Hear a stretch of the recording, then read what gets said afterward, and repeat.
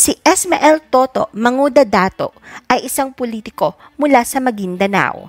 Nakisimpatya sa kanya noon ang bansa nang paslangin ang kanyang asawa at ang kanyang mga iba pang kapamilya. Ilang taon ang nakalipas ay may iilang mga babae ang naging karelasyon ni Toto na pinag-usapan sa publiko. Sino-sino sila? The Philippine Showbiz List presents ang makulay na love life ni Toto Manguda Dato. Si Toto ay anak ni Pua Mangudadato, ang presidente ng isang grupo ng influential politician sa Maguindanao na tinawag na Magnificent Seven. Siya ang pamangkin ng Sultan Kudarat politician na si Pakong Pax Mangudadato, ang ama ni Suharto Teng Mangudadato.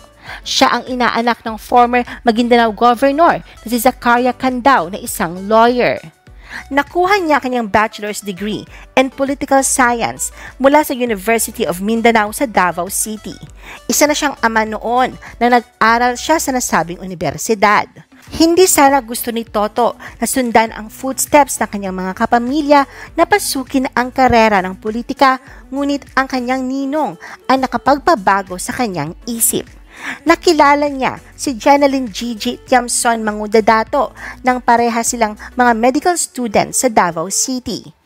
Ikinasal sila noong November 11, 1991. Siya at si Gigi ay nagkaroon ng siyam na anak, ngunit may isang pumanaw dahil sa dengue. Si Esmael Toto Gagil Mangudadato ay naging mayor ng Buluan, Maguindanao mula 2003 hanggang 2007 at vice mayor ng nasabing lugar mula 2007 hanggang 2010 taong 2009. Lahat ng mga mata noon ay nasa kay Toto.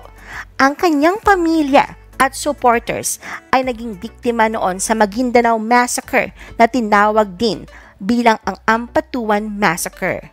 Kasama sa 58 na naging biktima noon ay ang asawa niya na si Jeneline Gigi Tiamson Manguda Dato at iba pang mga miyembro ng pamilyang Manguda Dato.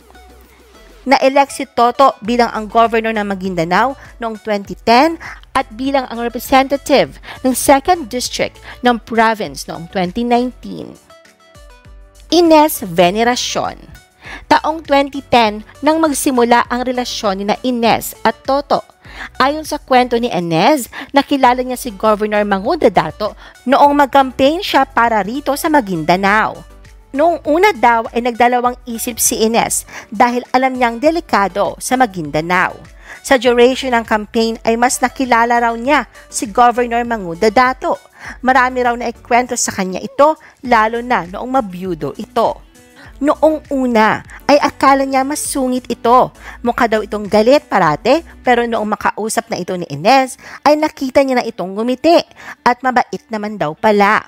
Pati mga staff nito ay sinasabi na mabait si Governor Toto.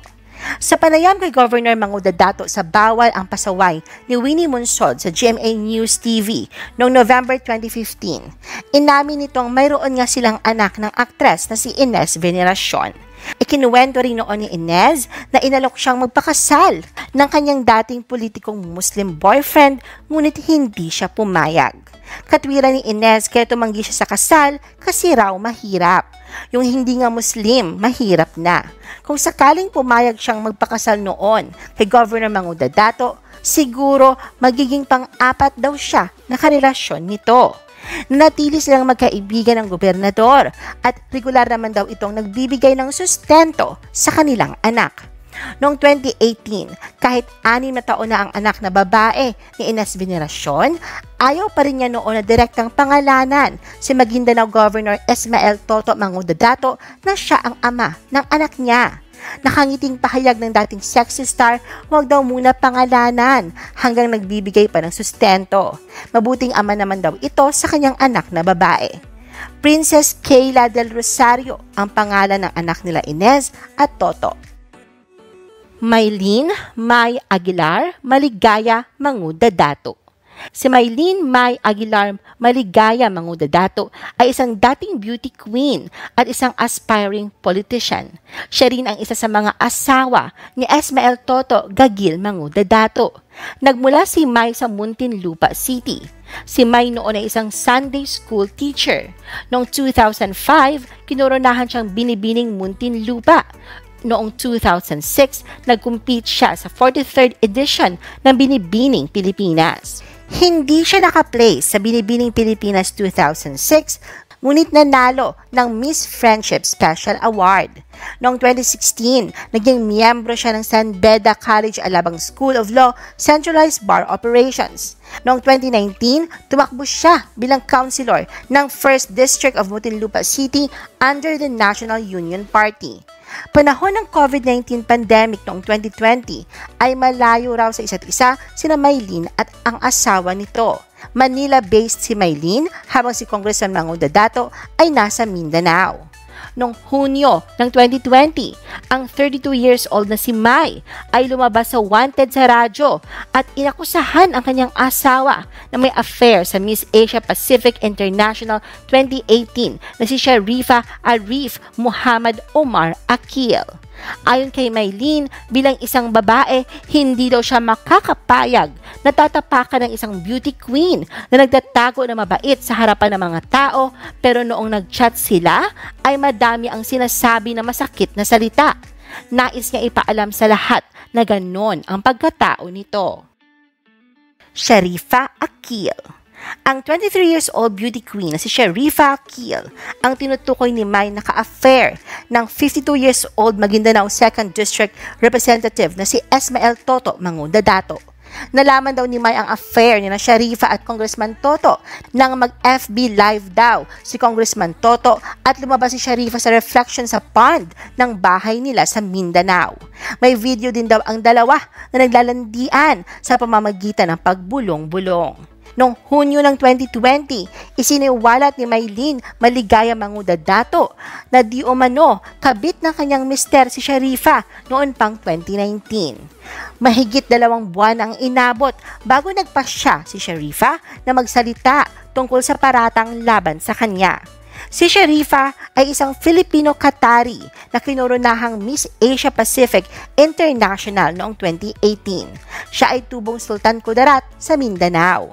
Giit ni Maylin, hindi dahilan ang pagiging title holder ni Sharifa para manira ng pagsasama ng mag-asawa. Sa kanyang kwento, sinabi ni Maylina na kapag usap na sila ni Sharifa via direct messaging, inamin raw ni Sharifa sa kanya pero hindi bluntly na may relasyon sila ng kanyang asawa at parang sinasabi raw nito na kasi matanda na si Maylene. Noong August 28, 2020 o mahigit dalawang buwan matapos lumantad si Maylene sa programa ni Rafi Tulfo, isang open letter ang ibinahagi ni Sharifa sa Facebook. Mahigit dalawang buwan ang inabot bago nagpasya si Sharifa na magsalita tungkol sa paratang laban sa kanya. Ang liham ay inadres niya para kay Miss Desperada. Walang direktang pinangalanan si Sharifa sa kanyang open letter, subalit tugma ang kanyang tugon sa mga akusasyon ni Maylene. Panghuli, sinabihan ni Sharifa ang tinutukoy na tao na huwag gamitin ang Islam sa argumento nito. Hinamon niya si Miss Desperada na sampahan siya ng kaso at magkita sila sa korte. Mabilis nakakuha ng simpatya si Sharifa mula sa kanyang mga taga-suporta. Natuwa ang kanyang mga follower na sa wakas ay sumagot na ang beauty queen sa akusasyon laban sa kanya. Pero may ilan ding netizens ang nagtanong kung may katotohanan ba ang bintang sa kanya na hindi direktang sinagot ni Sharifa sa kanyang mahabang sagot. At ngayong August 2021 ay inanunsyo na ikakasal muli si Maguindanao 2nd District Representative Esmael Toto Manguda Dato. 53 na si Congressman Toto ngayong taon at ikakasal siya kay Miss Asia Pacific International 2018 Sharifa Akil na 24 years old. Gaganapin ang kanilang pag-iisang dibdib sa Miyerkules, August 25, 2021 inanunsyo ang nalalapit na pag-iisang dibdib ng mambabatas at ang beauty queen sa Facebook page ng National Commission on Muslim Filipinos, Bureau of External Relations noong Sabado, August 21. Gaganapin ang Islam wedding ni Mangunda Dato at Sharifa sa Alnor Hotel and Convention Center sa Cotabato City, ganap ng ika-alas ng umaga Ang kanilang kasal ay tinatawag na walima celebration. Sa Islam, ito ay isang seremonya na kailangang ideklara sa publiko. Ang public declaration ay ginagawa sa pamamagitan ng pagpaplano ng walima o Muslim wedding reception at upang ipaalam sa publiko na masaya ang dalawang ikakasal. I-post ang inyong comments at reaction sa baba. At huwag kalimutan na i-like at i-share ang video na ito. Gusto mo pa ba ng ibang showbiz videos?